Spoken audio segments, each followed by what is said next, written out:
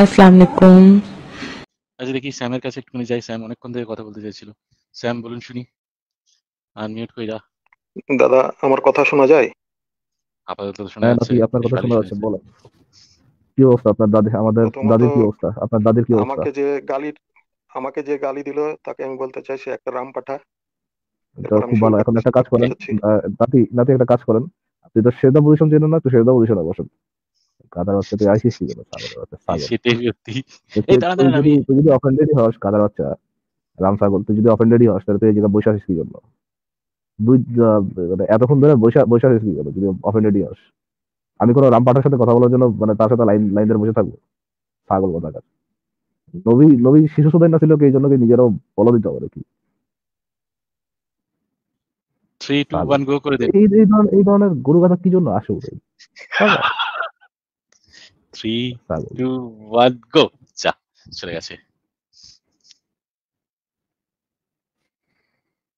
এইসব gang gang করতেছে আমার যুক্ত করেন আমার যুক্ত করেন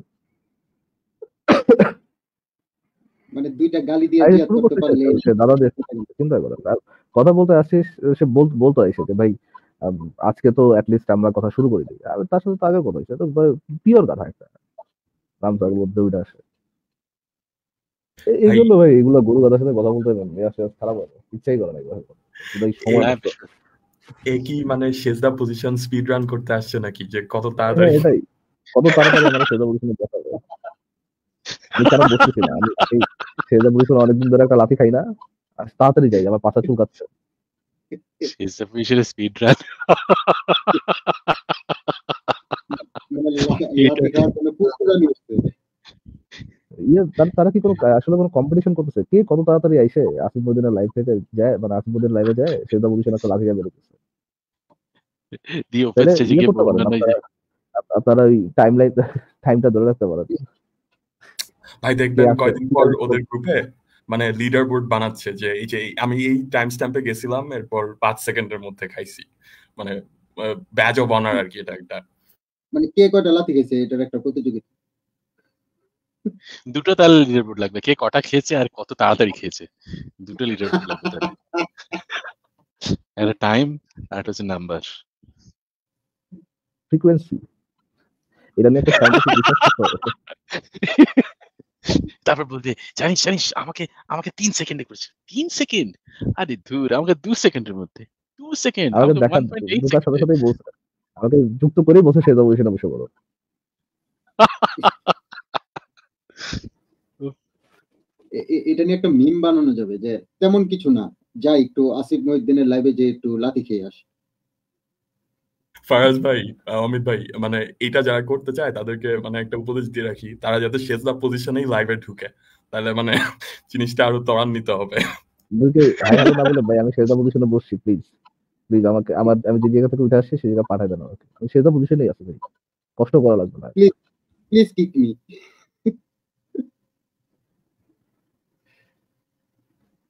আর আপনার এ- এমন নয় যে আপনার সেজা পজিশন বলে নষ্ট করতে হবে। আপনি এসপিও বলতে পারেন। ভাই আমি এসপি পজিশনে আছি। এসপি তে আছি আমি। ঠিক আছে অমিত ভাই আহ, আপনি যদি আর কাউকে যুক্ত না করেন তাহলে শেষ করে দেন। তাহলে আজকে বিদায় ঠিক আছে। তাহলে সবাই হ্যাঁ? ওকে ঠিক আছে অমিত ভাই। গুড নাইট সবাইকে ধন্যবাদ। বায়োলজিক্যাল ভাই আপনি আপনি অনেকদিন পর দেখলাম একটু আগে আগে আইসেন বুঝছেন? যদি আসেন তো আগে আগে আইসেন। জি ভাই যখন ফ্রি হই তখন। আজকে হচ্ছে আপনার ওই যে আমি একটা ডিসকাশন শুনে মজা মজা পাইছিলাম এই জন্য আসছি। ওই যে ওইটা তো শেষ হইল না ওই যে সূর্য যে এক পার্ট আপনার কি করে মানে ওই ওই ব্যক্তি তো চলে গেল ওইটা শুনে আসছিলাম। না উনি হয়তো কথা বলতেন জানেন ওনার কিছু একটা সমস্যা হলো। উনি বারবার বেরিয়ে যাচ্ছিলেন উনি আসছিলেন কিন্তু বেরিয়ে যাচ্ছিলেন।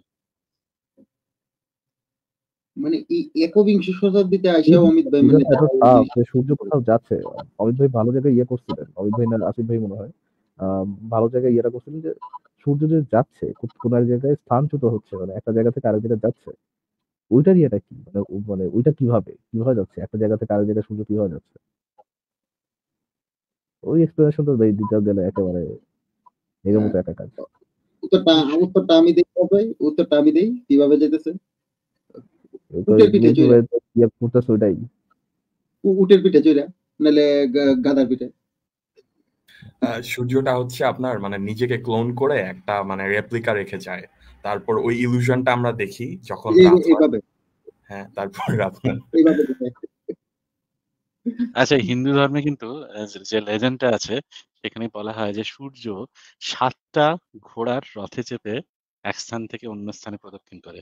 মানে আহ, তার সে এক স্থান থেকে অন্য স্থানে আকাশে যখন যায় তখন সাতটা ঘোড়ায় চেপে সাতটা ঘোড়ার চ্যারিয়েট বা সাতটা ঘোড়ার রথে চেপে সে সেটা প্রদক্ষিণ করে এটা তো? ইয়ে, ধর্মগ্রন্থগুলো মানে গ্রিসের ধর্মগুলোতেও পাওয়া যায় না যে অ্যাপোলো নাকি সেও তো মনে হয় সূর্য কেমনে করে নিয়ে ঘোড়ার একটা গাড়িতে করে নিয়ে ঘোরাইতো। হ্যাঁ হতে পারে হতে পারে হতে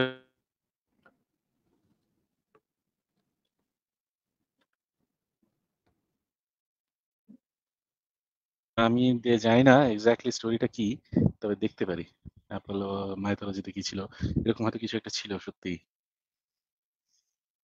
আচ্ছা ওনার নাম অ্যাপোলো না মনে হয় Helios Helios Helios the. God of sun and and Apollo the god of light and justice. Apollo the god of Light and justice. Light and justice আচ্ছা তাহলে এইটা মিশনটার নাম হঠাৎ করে অ্যাপোলো মিশন দিয়েছিল কেন Don't know. ভাই আমি তো ইসে দেখছিলাম মনে হয় মানে মুভিতে দেখছিলাম মনে হয় যে যে ইয়ে গডটা ওটা অ্যাপোলোই বলে। তো হেলিওস মাত্র দেখলাম আর কি। প্রবাবলি এমন হতে পারে যে হেলিওস হচ্ছে গিয়ে সানটা আর যে ঘুরাই দিয়ে দিতেছে সে হচ্ছে গিয়ে অ্যাপোলো এটা হতে পারে। হ্যাঁ তবে হিলিয়াস সান হওয়ারই কথা ওই জন্য হেলিকোসেন্ট্রিক এই ধরনের কথাটা বলে। হুম, হুম,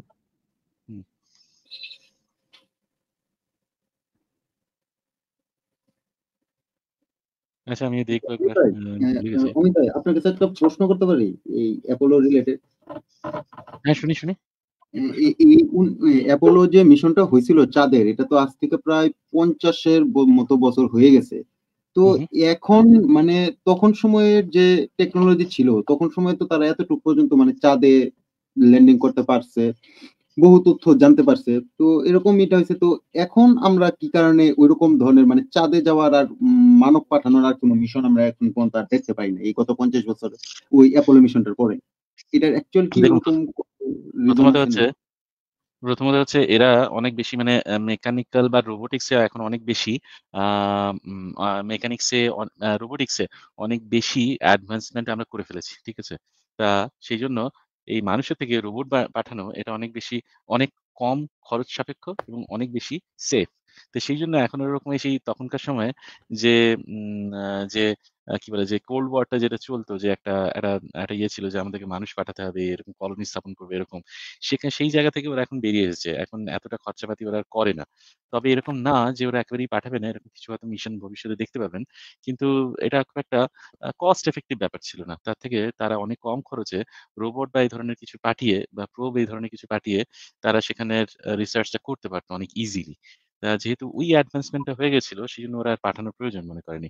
মানে ওটা আর বেশি কস্ট এফেক্টিভ ছিল না সেই জন্য ওরা আর পাঠায়নি। প্রোপাগান্ডা উত্তর আর রিয়েল উত্তরটা হচ্ছে যে মানুষ পাঠাতেছে না এই জন্য কেননা যে দেখে চাঁদে ফাটল আছে যে যদি আবার মুসলমান হয়ে যায় এই ভয় তারা মানুষ পাঠাতেছে না। জি ভাই গিয়া গিয়া মানে আজান শুনে মানে আজার শুনবে ফাটল দেখবে দেখে যদি মুসলমান হয়ে যায় তাহলে? হ্যাঁ, তো হ্যাঁ এই ব্যাপারে মানে আমি একটু অ্যাড করতে চাইছিলাম এটা হচ্ছে আপনার ওইটা যে এরাই হয়েছিল ওটা হচ্ছে কোল্ড ওয়ার এরায় তখন হচ্ছে ইউএসএ সোভিয়েতের মানে সবকিছুতেই মানে এই টেকনোলজিক্যাল কম্পিটিশনগুলো হচ্ছিল। বাট আপনি যদি এখনকার কন্টেক্সে চিন্তা করেন, একটা হচ্ছে আপনার এইসব হ্যাজার্ডাস এনভায়রনমেন্টে অমিত ভাই যেটা বলল, আমরা রোবটিক্স ইউজ করি। আরেকটা হচ্ছে মানে ইকোনমিক কনসিডারেশন যদি দেখেন যে আমরা মানে একটা জায়গায় একটা প্রোব পাঠাচ্ছি অনেক টাকা খরচ করে, এটার পে অফটা কি? এখন তো আমরা মানে এটা তো ফ্লেক্স করার মতো কিছু না, যে আমরা সোভিয়েতের আগে এই টেকনোলজিটা ডেভেলপ করে ফেলেছি। তো ওটা দিয়ে কি হচ্ছে? তো এই এই দুইটা কারণে মেইনলি আপনি এখন ওই ফ্রন্টে এটা দেখবেন না। এখন মেইনলি মানে আমি যেটা দেখছি যে আগামী একশো বছরের মধ্যে চারটা ফিল্ড হচ্ছে বেশি সিগনিফিকেন্ট হবে। Grain genetics robotics artificial intelligence আর ন্যানো টেকনোলজি তার মানে তার মানে কি অমিত ভাই এই- জন্যই কি আপনার ওই যে, এই ভারত যে চন্দ্রযান থ্রিটা পাঠাইলো, এই কারণে কি বিক্রম ল্যান্ডার ইউজ করছে? ওই প্রোব ইউজ করা হয়েছিল? হ্যাঁ নিশ্চয়ই সেটাই তো সহজ না মানুষ পাঠানোর থেকে কতগুলো রোবটকে পাঠানোই তো সহজ না এবং সেগুলোকে তো আমরা এখন কন্ট্রোল করতে পারি এখন আমাদের ডিজাইন এই সমস্ত অনেকগুলো অনেক অনেকাংশে বেটার আমাদের কমিউনিকেশন বেটার আমাদের কমিউনিকেশন ফাস্টার তা সেজন্য আ সেখানে এই যে ইয়ে গেছে, এই যে উম আ যে ভয়েজার যেগুলো পাঠিয়েছিল সেখানে সেই ভয়েজার ভয়েজারের একটা মিসকমিউনিকেট করছিল। তার তার একটা সমস্যা দেখা দিচ্ছিল। তার কারণ তার যে RAM সেই র্যাম তখনকার সময় কত, কত র্যাম ছিল তার? বোধহয় কত কিলোবাইট একটা র্যাম ছিল। তার মেমোরিও কিছু মেগাবাইটে ছিল ম্যাক্সিমাম একশো দুশো মেগাবাইট হবে। তো তার মধ্যেই তার সফটওয়্যার ইয়ে। কিন্তু এখন তো অনেক বেটার টেকনোলজি আছে আমাদের হাতে যেখানে ম্যান মিশনের থেকে আনম্যান মিশন আমাদের অনেক কম খরচ সাপেক্ষ, সহজ, রিস্ক ফ্রি। আ সেজন্যই আর ইয়ে করে না। সেজন্য আর ম্যান মিশনের মতন ওরকম আর ঝামেলা করে না। ম্যান মিশন হলে এই ইয়েতে যেতেই এই স্পেস স্টেশনে যেতেই এই যে ইন্টারন্যাশনাল স্পেস স্টেশন সেখানে যেতেই কত হাঙ্গামা। লোকজনকে এই যাও রে, নিয়ে যাও রে, নিয়ে এসো রে কত হাঙ্গামা। আ একটা ম্যান মিশন মুনে সেটা তো অনেক বেশি ঝামেলা। সেজন্য এখন আর পাঠায় না। এখন আর প্রয়োজন মনে হয় না সেই জিনিসটা এখন আর। ও। বাট কেউ যদি শখ করে যেতে চায় ওটার অপরচুনিটি আসবে ইন ইন দ্য ফিউচার। যদিও জিনিসটা খুবই এক্সপেনসিভ হবে বাট মানে আপনি চাইলে যেতে পারবেন একসময়। হ্যাঁ, সেই জিনিসটা তো হয়তো হবে। দেখছিলাম যে এলন মাস্ক নাকি এরকম একটা ট্যুর তৈরি করতেছে যে মহাকাশে যাওয়ার এরকম একটা দেখছিলাম। হ্যাঁ, সেই জিনিসটা হতে হবে। কিন্তু আ সেই জিনিসটা হতে পারে। কিন্তু এমন কোন জিনিস এক্সট্রা কিছু অ্যাচিভ করা যায় না মানুষ পাঠিয়ে যে জিনিসটা আমরা রোবট বা অন্য কিছু পাঠিয়ে সহজে অ্যাচিভ করতে পারি না। যে সেটা যেকোনো কিছুই হতে পারে। সেখানকার এনালাইসিস হতে পারে, আ সেখানে কেমিক্যাল এনালাইসিস হোক বা সেখান থেকে স্যাম্পল কালেকশন হোক, যেকোনো জিনিসই এমন কোনো জিনিসই নেই যেটা একটা রোবট করতে পারে না কিন্তু মানুষ গিয়ে সেখানে একটা বেটার অ্যাচিভ করতে পারে। এরকম কোনো জিনিসই নেই এখন আর। এবং সেটা খরচা সাপেক্ষ অনেক বেশি মানুষ পাঠানোটা। তার থেকে এবং অনেক বেশি রিস্কিও তার থেকে এবং Apollo 13 সেটা তো Apollo 13 ই তো ব্লাস্ট করেছিল না? আমার ঠিক মনে পড়ছে না কত নাম্বার। আ কোনটা ফেল করল? 11 না 13? 11 এ তো বোধহয় ডাইরেক্ট চলে গেছিল। 11 এ তো তারা মিশনটাই করছিল। আচ্ছা তাহলে কোনটা কোনটা একটা সে ফেল করল না? মানে সেই ব্লাস্ট হ্যাঁ, হলো। হ্যাঁ, একটা ফেল ভাই করছে। হ্যাঁ, অক্সিজেন এরকম ফেলিয়ার হয়েছিল 13 এ। হ্যাঁ। 13 এ হ্যাঁ, 13 টাই বোধহয় ফেল হয়েছিল, তাই না? হ্যাঁ, এটাই ভাই। মানে মানুষ পাঠানো ফার্স্ট অফ অল মানে জাস্ট আমি জাস্ট হবিইস্ট পার্সপেক্টিভ থেকে বলতেছিলাম। এটা হচ্ছে আপনি সায়েন্টিফিক এক্সপ্লোরেশন এর দিক থেকে এটা তো কিছুই অ্যাড করতেছে না। তার উপর হচ্ছে মানুষের আপনার হেলথ অ্যান্ড সেফটি কনসার্নস তাকে মেইনটেইন করা আরও এক্সপেন্সিভ মানে যদি ইকোনমিক দিক থেকে বিচার করেন। তাই এটা মানে ওর্থ ইট না। আর আরেকটা প্রশ্ন ছিল অমিত ভাই যে মহাকাশে এখন পর্যন্ত বিজ্ঞানীদের আবিষ্কার করা মানে যত তথ্য আছে তার মধ্যে কি আপনার এরকম কি কিছু পাওয়া গেছে যে আপনার মানে পৃথিবী ছাড়াও অন্য কোনো গ্রহে মানে কোনো প্রাণের অস্তিত্ব আগে ছিল, এখন নাই এরকম কোনো পাওয়া গেছে আমাদের এই ইয়েতে আমাদের এই গ্যালাক্সিতে?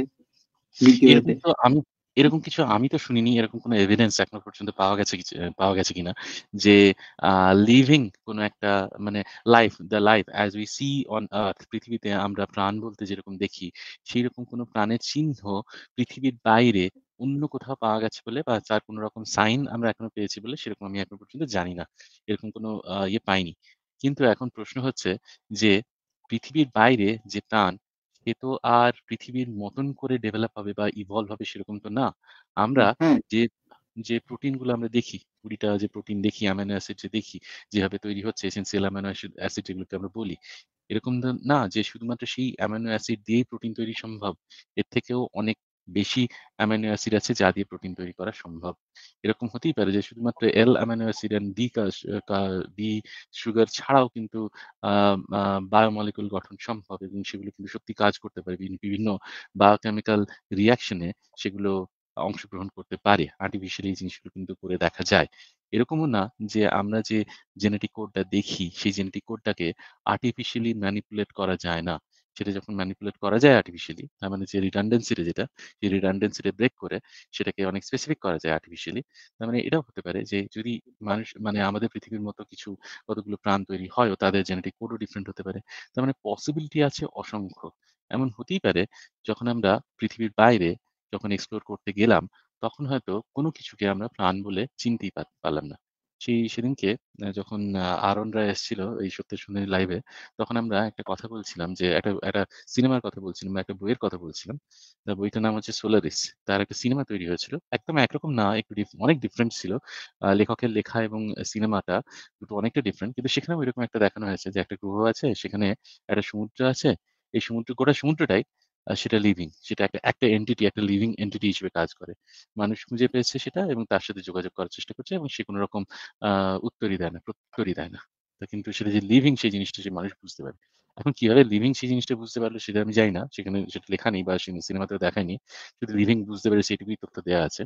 কিন্তু মহাবিশ্বের মহাবিশ্বের মধ্যে এরকম হতেই পারে। এরকম অনেক পসিবিলিটি আছে যেখানে প্রাণ এমনভাবে ডেভেলপ হতে পারে, এই বায়োকেমিক্যাল রিঅ্যাকশন এমনভাবে হতে পারে যাকে আমরা প্রাণ বলে হয়তো চিনতেই পারব না। তাই জন্য নাসা বলছে যে, তাদের একটা ওয়ার্কিং ডেফিনিশন অফ লাইফ আছে। একটা একটা বায়োকেমিক্যাল সিস্টেম যে সিস্টেম একটা সেলফ প্রপাগেটরি হবে এবং ডারুনিয়ান ইভলিউশন ফলো করবে, তাকে আমরা প্রাণ বলব তো এরকম নয় যে, এটা ইম্পসিবল যে, এরকম হতে পারে না। কিন্তু এটা হয়তো ইম্পসিবল যে ঠিক মানুষের মতনই সেই প্রাণ যদি আজ থেকে ধরুন চার বছর চার বিলিয়ন বছর আগে বা পাঁচ বিলিয়ন বছর আগে তৈরি হয়ে থাকে, সে যে মানুষের মতো ইভলভ হবে সেরকম নাও হতে পারে।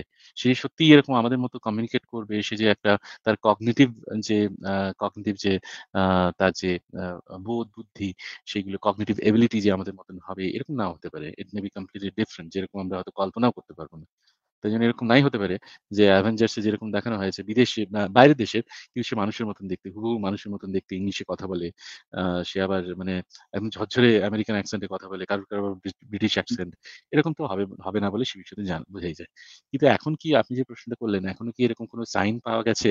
না এখনও পর্যন্ত কিন্তু এরকম আমরা পাইনি। তবে এরকম কি যে আমরা কোনো বায়োলজিক্যাল, বায়োকেমিক্যাল মলিকিউল এর সন্ধান পেয়েছি? হ্যাঁ, এইরকম অবশ্য আমরা পেয়েছি। কিন্তু ধরুন একটা একটা জৈব যৌগ সেটা সেইটা মানেই যে একটা লাইফ আছে এরকম তো না নয়। এরকম ব্যাপারটা নয়। কারণ জৈব যৌগ সেটা সংশ্লেষ অন্যভাবেও হতে পারে।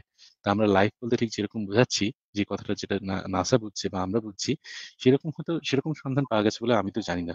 এখন আপনি প্রশ্ন করতে পারেন তাহলে যে এলিয়েনের যে সমস্ত খবরগুলো, সেগুলো আমি আজ পর্যন্ত কোনো অথেন্টিক এরকম কোনো এলিয়েনের খবর দেখিনি। আর এলিয়েনরা সবাই কেন আমেরিকাতে কি নামে এবং আমেরিকাতে সবাই কেন নামে সেটা আমি জানি না। সেরকম খুব মানে ইয়ে আছে। এবার আপনি প্রশ্ন করতেই পারেন কি যে এরিয়া 51 এ। এরিয়া 50 মানে হ্যাঁ। আর এটা আপনি প্রশ্ন করতেই পারেন যে এই মিশরের পিরামিড বা ধরুন কৈলাস মন্দির এগুলো কি এলিয়েনদের বানানো? তার উত্তর হচ্ছে না। সেই সময় তাদের কাছে সেই টেকনোলজি ছিল। এই টেকনোলজি এখনও আপনি দেখতে পারেন। সেই টেকনোলজি এখনও আমরা ব্যবহার করতে পারি। কিন্তু এখন আমরা অনেক কমপ্লেক্স আর্কিটেকচার তৈরি করি, তাই না?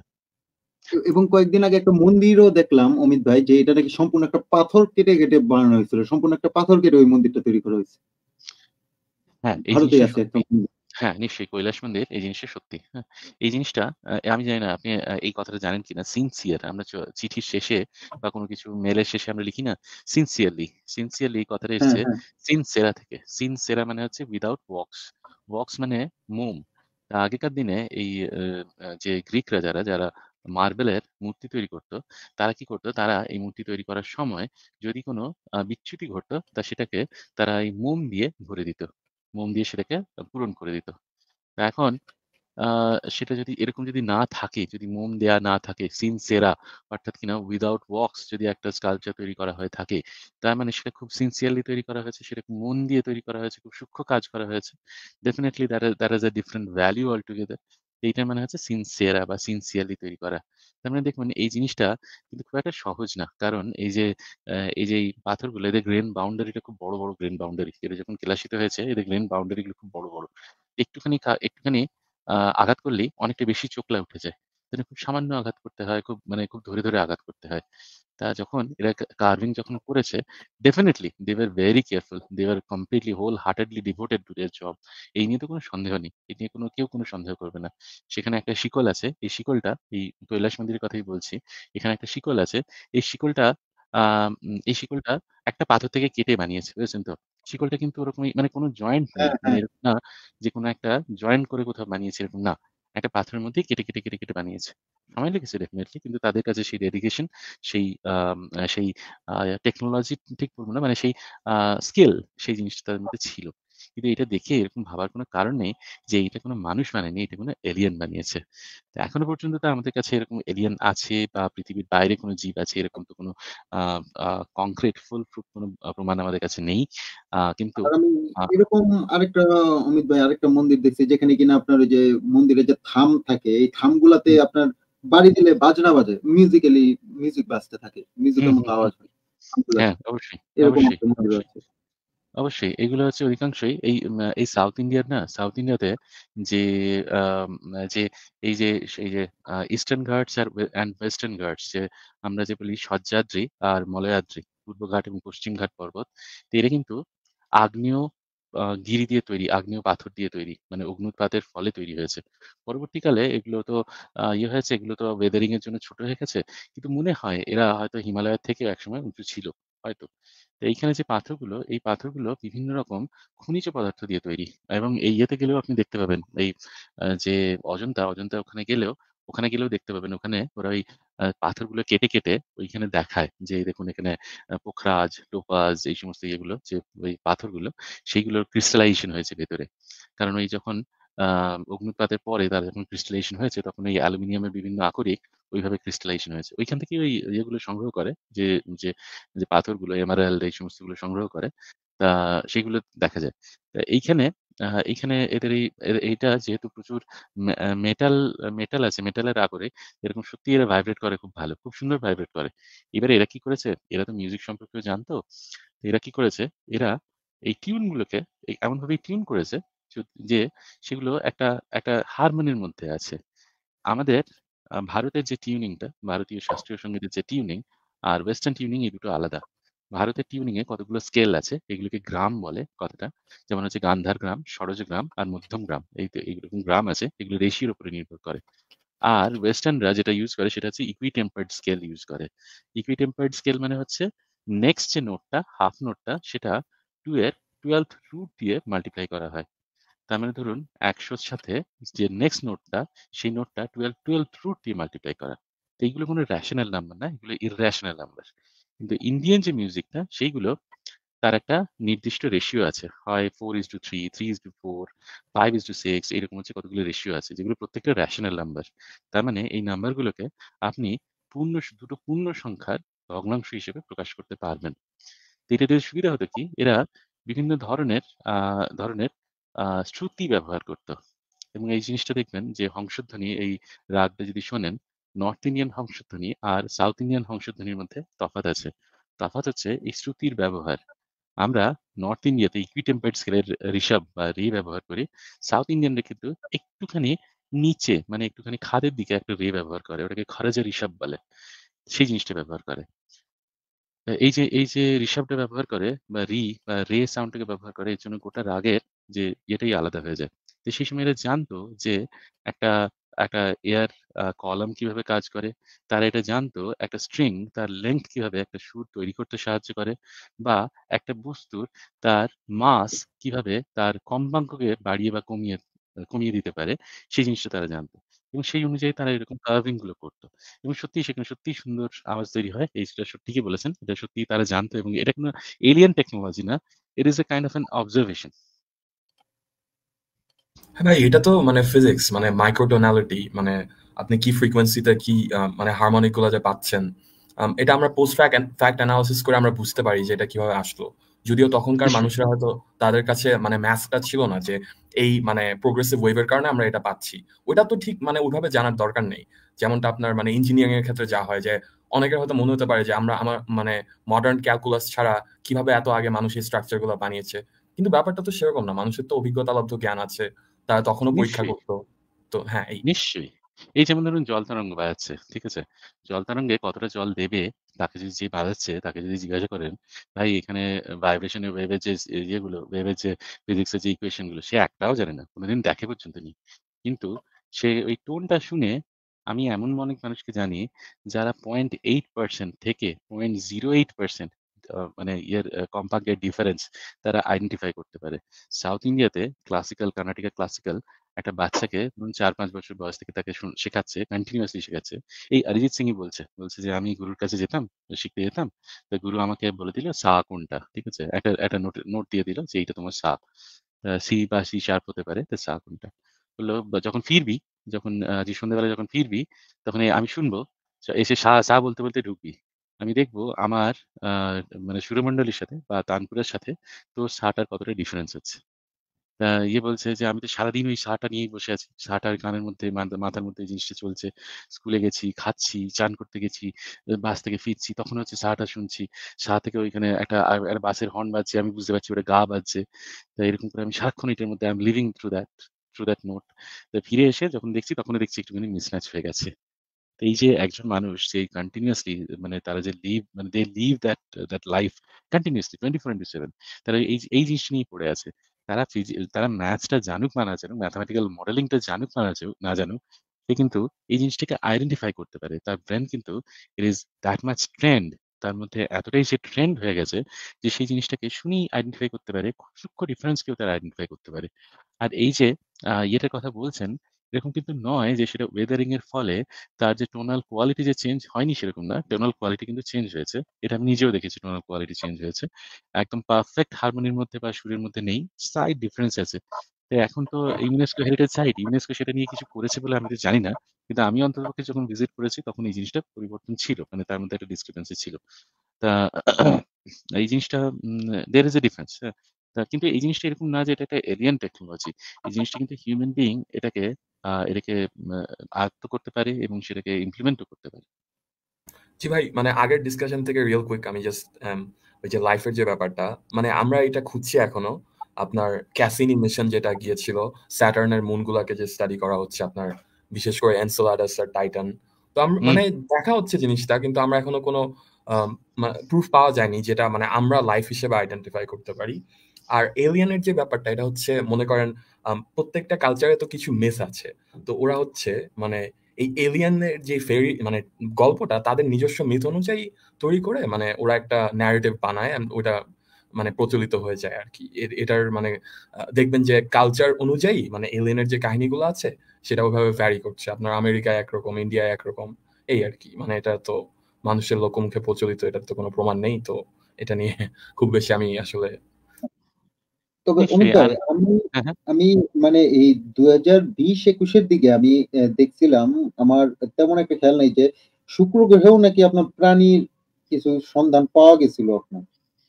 না, সেরকম তো আমি শুনিনি। তবে যদি যদি এরকম কোনো খবর পেয়ে থাকেন আপনি নিয়ে আসবেন সেটা আমরা দেখব, আমি দেখব। কিন্তু এরকম তো আমি কিছু শুনিনি। তবে এরকম থাকতে পারে যে হয়তো কোনো প্যাটার্ন দেখে মনে হয়েছে যে ওখানে থাকতে পারে। যেমন এই বায়োলজিক্যাল ডিটারমিনেন্টস যে কথাটা বলছিল, যে টাইটান গ্রহের কথা। টাইটান গ্রহে সেখানে কিন্তু খুব ঠান্ডা। সেই ঠান্ডাতে জল সেখানে বরফ হয়ে যায় বটে, কিন্তু সেখানে তরল হিসেবে কিছু থাকে। কি থাকে? মিথেন থাকে। এই মিথেন এটাও কিন্তু জলের মতনই একটা ইউনিভার্সাল সলভেন্ট হিসেবে কাজ করতে পারে। জিনিসটা দেখুন টাইটেন যে টাইটেন টাইটেন যেন কোনটা অমিত ভাই? এই বৃহস্পতি গ্রহের উপগ্রহ না? শনির বোধহয় না? শনির উপগ্রহ, হ্যাঁ। হুম। Okay, okay. Thank you. হুম। আমি যতদূর আমার তাই তো মনে হচ্ছে। হ্যাঁ, ঠিকই বলেছ। ইয়ে ঠিকই বলেছে। বৃহস্পতি না শনিরই।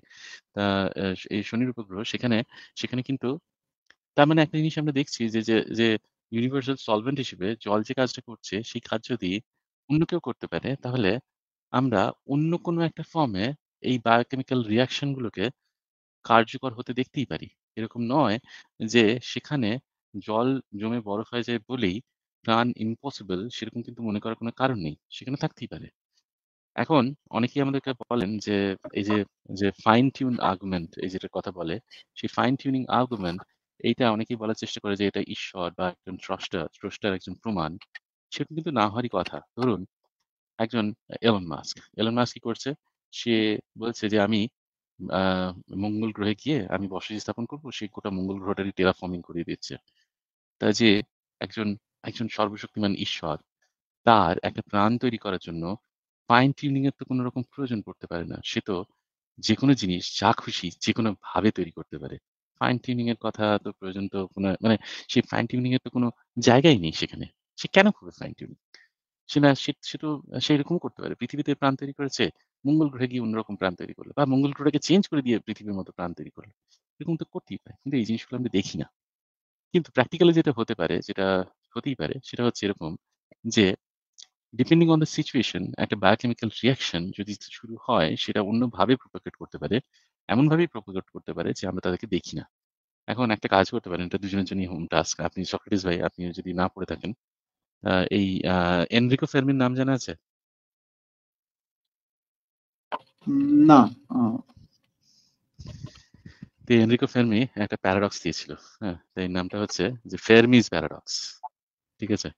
এইটা একটুখানি পড়ে দেখতে পারেন। হোয়াট ইজ ফেরমিজ প্যারাডক্স এই ফেরমি একদিন রাতের বেলা শুয়ে শুয়ে ভাবছে যে ওয়ার ইজ এভরিবডি আকাশের দিকে তাকিয়ে ভাবছে ওয়ার ইজ এভরিবডি ভাবছে, এত বড় মহাবিশ্ব, এত কিছু ইয়ে আছে, এত কিছু তার তার প্রবাবিলিটি আছে, এত কিছু হতে পারে। আমরা এখনও পর্যন্ত why we have never been visited we have never been visited by alien তারা কোথায়? ওয়ার ইজ এভরিবডি তখন সেই গ্রেট ফিল্টার এই সমস্ত কথাগুলো বলছে। এই গ্রেট ফিল্টার নিয়ে একটা আলোচনা আছে যদি দেখেন এই পার্সন অফ ইন্টারেস্ট বলে একটা টিভি সিরিজ আছে নোলান ব্রাদার্সেরই ক্রিস্টোফার নোলানের ভাই জোনাথন নোলেন তার হোতা। তো ক্রিস্টোফার নোলানের নিজেরও ডিরেকশন দেয়া কিছু কিছু সিনেমা আছে এই সরি কিছু কিছু কতগুলো এপিসোড আছে দেখতে পারেন। ওখানে হচ্ছে ওরা এই গ্রেট ফিল্টার নিয়ে কথা বলছে। দ্য ফ্যামিলি প্রেটাটস ইয়েস ওরা the aliens yes exactly exactly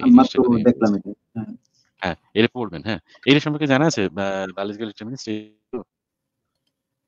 জি ভাই মানে আমরা যদি মানে প্রবাবিলিস্টিক স্কেলে বিচার করি, তাহলে তো মানে এক্সট্রা টেরেস্ট্রিয়াল লাইফ থাকা হাইলি প্রবাবল তাহলে কেন আমরা এখনও তাদের কন্ট্যাক্টে আসতে পারলাম না? তো এটাই তো ফার্মির এটা ছিল যে ওয়াই অ্যান্ড হ্যাঁ তারপর হচ্ছে ফার্মি মানে উনি এই মানে কারণগুলো এক্সপ্লোর করেছেন যে, আমাদের মতো প্ল্যানেট রেয়ার এরপর আপনি যে গ্রেট ফিল্টারের কথা বললেন, অথবা মানে আমরা হচ্ছে আপনার একটা টাইপ মানে পয়েন্ট কিছু একটা সিভিলাইজেশন তো অ্যাডভান্স যারা আছে তারা আমাদের কন্ট্যাক্টে আসতে চায় না এটসেট্রা এটসেট্রা এরকম কিছু ইয়ে উনি দিয়েছিলেন আর কি। নিশ্চয়ই। এটা নিয়ে সোলারিসের একটা এটা নিয়ে চন্দ্রিলের একটা খুব সুন্দর বক্তব্য দেখলাম, চন্দ্রিল ভট্টাচার্যের চন্দ্রিল হচ্ছে এই সোলারিস নিয়ে কথা বলছে। তখন একটা কথা বলছে বলছে যে যোগাযোগের মাধ্যমটা আমরা যে এদের সাথে যোগাযোগ করব, এদের কথা যদি না বুঝি তাদের সাথে যোগাযোগ করা যায় না। মানে যদি এরকম হয় যে একটা কমপ্লিটলি ডিফারেন্ট লাইফ ফর্ম যদি হয় তার সাথে আমরা যদি যোগাযোগ করার চেষ্টাও করি আমরা যোগাযোগটা করব কীভাবে? আমরা তাদের যে তাদের যে মতিগতি সেই মতিগতি তো আমরা বুঝতেই পারব না। তারা সেটা আমরা যোগাযোগ করলেও তারা যে যোগাযোগ স্থাপন করছে কিনা তাদেরকে লিভিং বলে রেকগনাইজ করছে কিনা সেরকম তো আমরা নাও করে থাকতে পারি। এই জন্যই এটার জন্য এটার জন্য অমিত ভাই একটা ওই যে ভয়েজারের একটা গোল্ডেন ডিস্ক পাঠানো হয়েছিল না? হ্যাঁ সেটা পাঠানো হয়েছিল। কিন্তু এবার ধরুন তারা রেকগনাইজই করে না এই জিনিসটাকে। তারা এই জিনিসটাকে একটা গার্বেজ মনে করে যে তারা তো ইংলিশ জানে না তারা তো বাংলা বুঝবে না তারা তো কোনো কিছুই বুঝবে না তারা তো এই জিনিসটাকে একটা গার্বেজ মনে করে। তো সেই জিনিসটা মানে আচ্ছা আপনি এটা দেখতে পারেন একটা ইয়ে দেখতে পারেন একটা গল্প আছে রোড সাইড পিকনিক হ্যাঁ? আমি জানি না পড়েছেন কিনা? এটা এটা একটা সায়েন্স ফিকশন একটা বই। দাঁড়ান আমি দেখি এটা কার- আমি এটা ভুলে গেছি এটা অনেকদিন আগে পড়েছিলাম। রোড সাইড পিকনিক দিয়ে সার্চ করুন দেখবেন এটা আহ, আর আর আরকাডি স্টুগার্ট স্কাই আর বরিস স্টুগার্ট স্কাই এর লেখা। এক্স্যাক্টলি হ্যাঁ। রোড সাইড পিকনিক এই জিনিসটা পড়বেন, ঠিক আছে? এটা পড়বেন। যে যে কমিউনিকেশন কীরকম হতে পারে, বা তা রোড সাইড পিকনিক নামটা কেন দিয়েছে? সেটা হচ্ছে যে, আপনি ধরুন কোনো একটা জঙ্গলে পিকনিক করতে গেলেন বা কোথাও পিকনিক করতে গেলেন পিকনিক করার পরে আপনি যখন চলে আসবেন, তখন আপনার অনেক কিছু আবর্জনা, অনেক কিছু ফেলে দেওয়া জিনিস আশেপাশে পড়ে থাকে। তো সেরকম আর কি একটা এলিয়েন কতগুলো এলিয়েন পৃথিবীতে এসেছিল, তারপর তারা চলে গেছে। চলে যাওয়ার পরে তাদের অনেক কিছু জিনিস পেছনে ফেলে যায়, তারা সব কিছু জিনিস নিয়ে যায়নি। সেগুলোর মধ্যে এমন কিছু জিনিস আছে যে কিছু হচ্ছে ওই টাইম লুপ তৈরি হয়েছে, কোথাও কোথাও হচ্ছে এমন একটা তৈরি হয়েছে, কিছু ওয়েপন তৈরি হয়েছে, কোথাও এমন একটা ব্যাটারি ব্যাটারি ফেলে গেছে, সেই ব্যাটারিটা কোনোদিন ফুরোই না মানে অফুরন্ত এনার্জি এইগুলো কখনো কখনো ব্ল্যাক মার্কেটে বিক্রি হয় বা সায়েন্টিস্টরা এগুলো নেয়। তো কয়েকজন মানুষ এগুলো খুঁজতে যায়, ওই অঞ্চলগুলোতে এগুলোকে খুঁজতে যায়। তো সেখানে একটা গল্প, সেখানে দেখাচ্ছে যে, হয়তো একটা ইয়ে ছিল, একটা কবর ছিল, তারা সেই কবর থেকে মানুষগুলো সব উঠে এসেছে। তাদের মধ্যে একজন হচ্ছে ওইরকম যে প্রোটাগনিস্ট সে ওইরকম খুঁজতে যায় যে, ইয়েগুলোকে খুঁজতে যায়। ওই যে সে হচ্ছে এরকম এই স্ক্যাভেঞ্জ হান্টিং করে আর কি স্ক্যাভেঞ্জার আর কি তা সেগুলোকে এরকম খুঁজতে যায়। তা সে নিয়ে গল্প আর কি তো সেখানে হচ্ছে কোয়েশ্চেনটা ওটাই যে হোয়াট ইজ কমিউনিকেশন মানে আমরা যে কমিউনিকেট করব কীভাবে আমরা কমিউনিকেট করব? এটা একটা কোয়েশ্চেন তারা তুলে ধরেছে। খুব সুন্দর সেই জিনিসটা। একজন লিখেছে এসকানোবেল লিখেছে you can try Arabic with aliens it might work সেটা আমাদের এটা কি আলাদিন নাকি ভাই? যে অ্যারাবিক এলিয়ান আলাদিন। ভাই, আমার আমার মাথায় যে আইডিয়াটা সেটা হচ্ছে, মনে করেন এলিয়েন ল্যাঙ্গুয়েজ বোঝার জন্য তো আমরা সুপারভাইজ লার্নিং ও ইউজ করতে পারব না। জাস্ট আমরা কতগুলো নিউরাল নেটওয়ার্ক দিয়ে মানে ওদের ল্যাঙ্গুয়েজের প্যাটার্ন ইয়ে করতে পারব।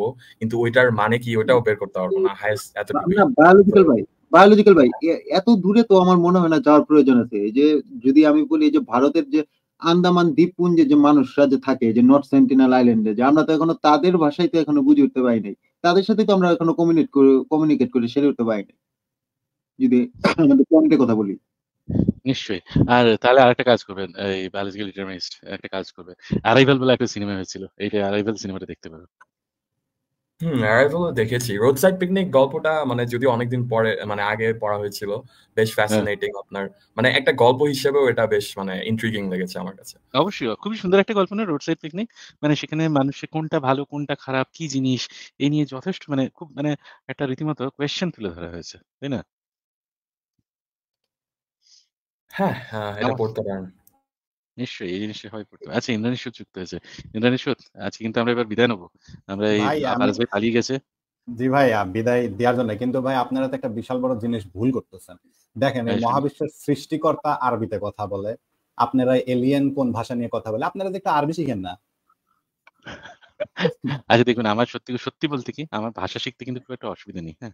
এখন সত্যি অনেস্টলি অনেস্টলি স্পিকিং আমার ভাষা শিখতে কোনো অসুবিধা নেই। কিন্তু এখন সমস্যাটা হচ্ছে এই ভাষার মধ্যে যদি কোনো একটা যখনই এই সংস্কৃত আমি শিখেছিলাম, কিন্তু যখনই এই ভাষাগুলোর মধ্যে একটা ডিভিনিটি আরোপিত হয়, যে না এটা একটা ডিভাইন ল্যাঙ্গুয়েজ। তখনই আমার একটুখানি মানে একটু বোকা, বোকা লাগে আরকি ব্যাপারটা। শিখতে পারি, অসুবিধা নেই। একটা খুবই পোয়েটিক ল্যাঙ্গুয়েজ হয়তো আ আরবি। অন্ততপক্ষে পার্সি আর উর্দু সম্পর্কে আমি যেটুকু জানি, উর্দু তো অনেকটাই পার্সি থেকে আ অ্যারাবিক থেকে ধার করা বা সেখান থেকেই তৈরি হয়েছে ইন্ডিয়ান একটা মিক্সচার। তা সেটা খুবই একটা পোয়েটিক ল্যাঙ্গুয়েজ। শিখতে আমার কোনো অসুবিধা নেই। কিন্তু ওই আরকি মানে যদি একটা যদি বলেন divine language, I don't buy that. যদি বলেন না এটা একটা আমি এমন একটা ল্যা হুম। আমি যতদূর জানি অমিত ভাই উর্দু ভাষাটা আপনার হিন্দুস্থানি ভাষা থেকে আসছে না?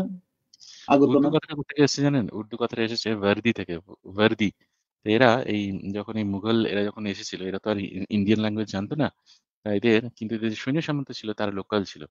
তারা এই ইন্ডিয়ান ল্যাঙ্গুয়েজ গুলোই জানতো যেগুলো ব্রাহ্মী, প্রাকৃত থেকে আসছে বা পালি থেকে আসছে। এরা এই আরবিক বা ওই ওয়েস্টার্ন ল্যাঙ্গুয়েজ খুব একটা বুঝতো না। ওয়েস্টার্ন মানে আমি বলতে চাইছি আরকি আরবিক বা পার্সি এটা বুঝতো না। তখন হুম। ধীরে, ধীরে এই সমস্তগুলো মিশে এটা কথা বলার মধ্যে একটা মিশে একটা ল্যাঙ্গুয়েজ তৈরি হয় যে ল্যাঙ্গুয়েজটা এই আ রাজারা বা আ এই যে আ যারা রাজা উজির এরা, এরা তাদের আর্মির সাথে কমিউনিকেট করতে ব্যবহার করত বা কমন পিপল এর সাথে কমিউনিকেট করতে ব্যবহার করত। এবং তারপরে এই ল্যাঙ্গুয়েজের সাথে এই ল্যাঙ্গুয়েজগুলোর মধ্যে প্রচুর আ কবি সাহিত্যিকও এর সাথে যুক্ত হন এবং তারাও চর্চা শুরু করেন। মানে এই ল্যাঙ্গুয়েজেই তাদের আ সাহিত্য চর্চা শুরু করেন। এবং সেখান থেকেই এই উর্দু ল্যাঙ্গুয়েজটা ডেভেলপ হয়েছে। খুবই পোয়েটিক একটা ল্যাঙ্গুয়েজ, খুবই সুন্দর একটা ল্যাঙ্গুয়েজ। তার মধ্যে তার এক্সপ্রেশনস বিশেষ করে হচ্ছে যখন তারা পার্সিতে পার্সিয়ান কোনো একটা ইয়েতে কথা বলে, এর এক্সপ্রেশন খুবই সুন্দর। মানে অসাধারণ কিছু এক্সপ্রেশন আছে তাদের। তাদের যে গালিবের পদাবলী বা যেকোনো কিছু খুবই সুন্দর। অসাধারণ তাদের তাদের কি বলব মানে তাদের ফিলোসফি বিহাইন্ড ইট। তো ওখানে একটা কথা আমি আছে বলছে আমি আপনার উর্দু ভাষার মানে মানে মানে উর্দু ভাষা আরকি মানে আমার এতটাই আগ্রহ ছিল যে আমি পাকিস্তানের জাতীয় সঙ্গীতটা পর্যন্ত শিখে ফেলছিলাম। বাহ! তো ওখানে গালিবের একটা পদাবলী আছে। এটা আমার খুব সুন্দর লেগেছিল। হ্যাঁ? কিন্তু হ্যাঁ। কিন্তু সক্রেটিস ভাই পাকিস্তানের যে জাতীয় সংগীত ওই যে পাক সার জমি থা ওর মধ্যে কিন্তু হ্যাঁ। উর্দু আছে অনলি 20% এর মতো। বাকি ভাষা কিন্তু অন্যান্য ডিফারেন্ট ভাষা। আমি সেটা এটা আমি বলতে পারব না। কিন্তু মানে এটা আমার শিখা হয়েছে কীভাবে ওই যে আগে যে খেলা হইতো না, বিশেষ করে হ্যাঁ, যে। আপনার এই যে ক্রিকেট খেলা, এশিয়া কাপগুলা। এই এশিয়া কাপগুলা খেলা দেখার কারণে আপনার মানে আমার পাকিস্তানেরটাও শিখা হয়েছে ইন্ডিয়াটাও পারি ১ম হাফ লাইন, আবার এদিক দিয়া শ্রীলঙ্কাটাও পারি। মানে আমার শিখা হয়ে গেছে। মানে শুনতে, হ্যাঁ। শুনতে। হ্যাঁ। আর কিন্তু ইন্ডিয়ার আপনার পারি যে এটা তো আপনি যথেষ্ট বুঝবেনই। হ্যাঁ, অমিত ভাই হ্যাঁ। যে ইয়া গানটা আছে না যে ট্রেনের পারে শাহরুখ খানের একটা গান আছে না কি সাইয়া সাইয়া নাকি? হ্যাঁ, হ্যাঁ, ওই গানের আচ্ছা, মধ্যে আচ্ছা, কিন্তু আচ্ছা। জিসকি জুবা উর্দু কি তারা। উর্দু মানেই কিন্তু। সুমধুর। বুঝছেন? উর্দু একটা ভার্ব হ্যাঁ, এটা বলে। বলে অমিত ভাই এটা বলে। এইটা এইটা অবশ্য ইয়ে করার জন্য ম্যাচ করার জন্য বলেছে। মানে ওই কি বলে একটা তবে উর্দু মানেও সুমধুর। অমিত ভাই উর্দু যে মানে মানে লিটারাল কিন্তু মানে। উর্দু মানে সুমধুর আমি কিন্তু উর্দু মানে ওয়ার্দি যে যে ইউনিফর্ম সেখান থেকে সেটা হতে পারে। কিন্তু উর্দুর যে লিটারাল মিনিং সেটার মানে হচ্ছে সুমধুর। আচ্ছা এই জিনিসটা অবশ্য আমি জানতাম না। আর এটা এটা একটু দেখেন। আর আরেকটা জিনিস সেটা হচ্ছে যে আমার তো মনে হয় যে এলিয়েন যদি ইন্ডিয়া কিংবা বাংলাদেশে যদি ল্যান্ড করে তাহলে ইন্ডিয়ানরা দেবতা বলে পূজা শুরু করে দেবে আর মুসলমানরা হলে ওই যে মেহেদী, ইমাম মেহেদী অথবা ঈসা এগুলা বলে শুরু করে দেবে। আর খ্রিস্টানরা কইবে যিশু আবার ফিরে এসেছে। নতুন রূপে। আচ্ছা আমি একটা জিনিস শুনলাম ওই যে নবী মোহাম্মদ মরার পরে যে ৩ ৩ দিন তার লাশ ফেলে রাখছিল। এটার কারণ ছিল নাকি সাহাবীরা ধারণা করতেছিল সে আবার জিসাস ক্রাইস্টের মতো রেজারেক্ট হবে। হ্যাঁ, জীবিত হবে। হ্যাঁ, সে জীবিত হবে। এরকম প্রথম কথা হচ্ছে এটা আর দ্বিতীয় কথা হইতেছে ওই খলিফাদের দ্বন্দ্ব ছিল খলিফাদের মধ্যে সেটা তো বটে ওটা তো কামড়া কামড় ওটা তো হ্যাঁ। Politics yeah. এটাও নাকি একটা ইয়া। আহ, আচ্ছা অমিত ভাই আমি কিছু কিছু জায়গাতে দেখছি এটা আমি এখন রেফারেন্স দিব না যে অনেকে আছে যে ব্রেইন ডেড ঘোষণা করার পরে সে আবার মানে সামহাউ ওয়েক আপ হয়েছে। মানে ধরে নিয়ে এই ব্যাপারটাকে কীভাবে এক্সপ্লেইন করা যায়? সাসপেন্ডেড অ্যানিমেশন বলে এই জিনিসটাকে। তা আজকে যদি এটা এক্সপ্লেন করি তাহলে কিন্তু অনেক সময় লাগবে। তাহলে একদিন একটা কাজ করব পরের দিন আমি কিছু ঘটনা এবং কি হয়ে থাকতে পারে এরকম হচ্ছে ওই কেস রিপোর্ট নিয়ে এসে তাহলে ব্যাখ্যা করতে পারি। রিয়েল কেস রিপোর্ট রিয়েল ঘটনা নিয়ে। ঠিক আছে।